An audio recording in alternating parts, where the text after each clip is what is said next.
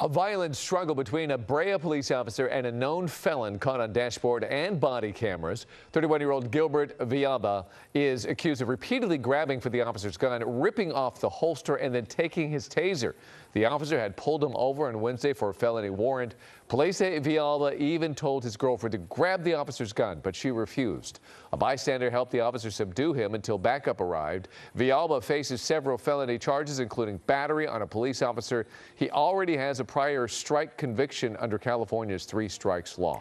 Hello, I'm Mark Brown. Get more great ABC7 content by clicking the subscribe button for our YouTube channel and download the ABC7 Los Angeles streaming app on Fire TV, Android TV, Apple TV, and Roku to watch on your TV.